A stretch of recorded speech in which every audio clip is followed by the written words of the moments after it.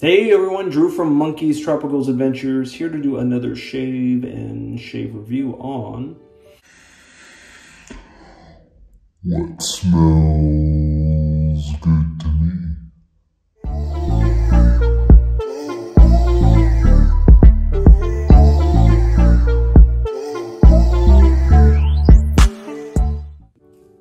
So what are we gonna talk about? So I came home uh, the other night and I went out to the mailbox and I had a surprise. I had no idea this was coming, but you guys know I'm a big fan. I am team wet shaving products. So yes, I got a surprise. So thank you, Mel. Thank you, Lee. Thank you, the wet shaving products family. I got this barbershop. Their new mentholated uh, barbershop scent that they made this summer. Um, so I started wet shaving about three years ago. My very first purchase ever was this El Grande safety razor.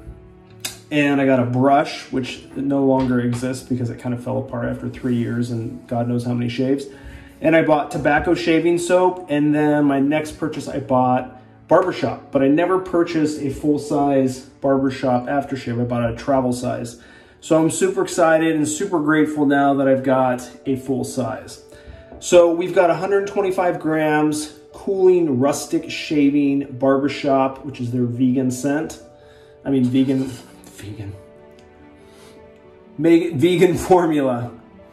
Oh my God, that smells good. I love their barbershop. Um, there are three companies uh, that I think are just the best barbershop. It is Wet Shaving Products, Stirling, and Crown. Those are my favorite barbershop scents. So I am super excited to try this out and I'm glad because I'm getting to the tail end of my original tin that's three years old. So we're gonna be trying this out. We're gonna get our beard nice, happy, and ready. Some Crown Supreme Glide.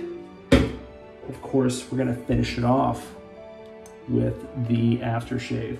And it's the cooling aftershave. So it's got the mentholated in there as well. So little, little tidbit, I'm not a huge mentholated fan, but I'm gonna try this out and I'm super excited. So I just wanted full honesty, full disclosure.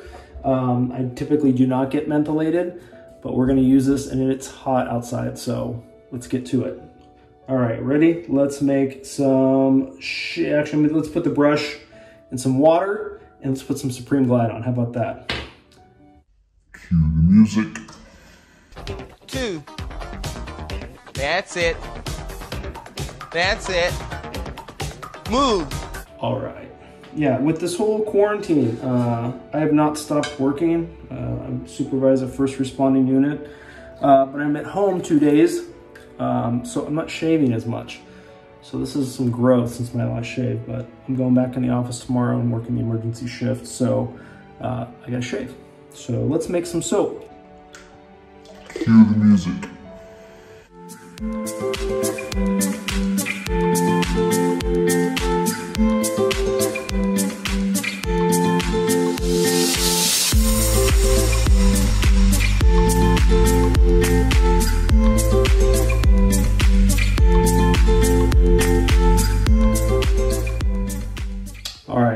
Up super, super easy. And I got that mentholated smell. So Drew, why don't you like the mentholated? Um, I'm not a super big fan of that super cooling effect. It sometimes makes my eyes water. I bought one by accident once, and I guess it was just a bad experience. But so far right now, I'm okay, but I can feel that cooling effect, um, and it's not bothering me, so I'm okay. All right, let's take it for a test spin. Cue music.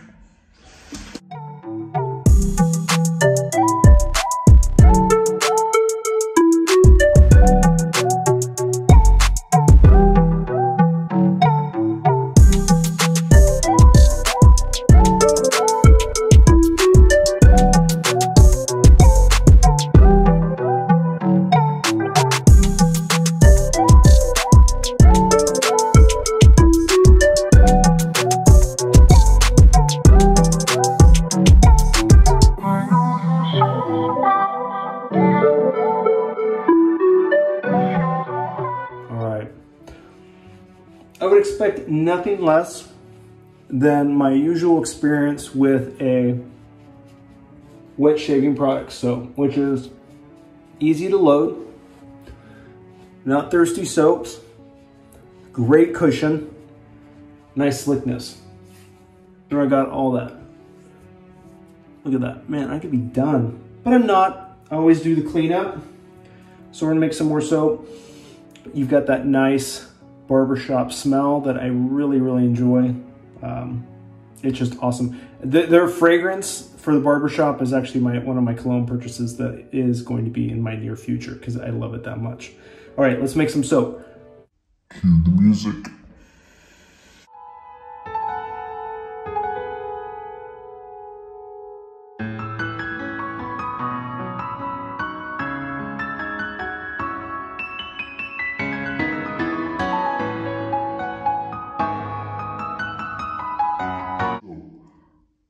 Cue the music.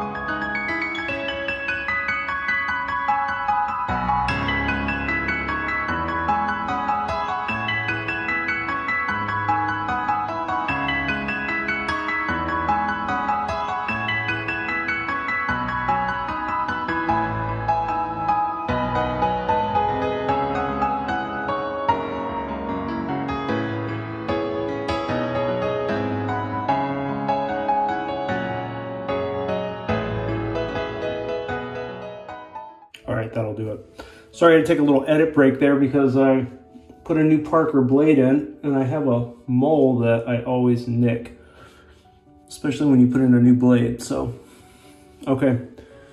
So the mentholation on this is not overly heavy. So actually I was able to say I'm a-okay with it. Um, in all honest opinion, uh, I'm okay with this one. Um, it's not as bad as the other one that I had. I'm gonna use this Nick stick real quick. So yeah, I am not a huge fan of mentholated, but I would say on a low, medium, high, I would say this is probably a a low, maybe medium. I don't know yet. I haven't used the aftershave yet, but as far as the soap, I'm okay. All right, let's use these aftershave tonic. And so they're made to order. So Corey, thanks for making this for me. All right, let's smell it. Okay, so the other barbershop scent that I like from one of the other companies uh, is more powdery. This is not more powdery. This is more like some florals and just that old classic. Oh man, it's super nice. All right, here we go.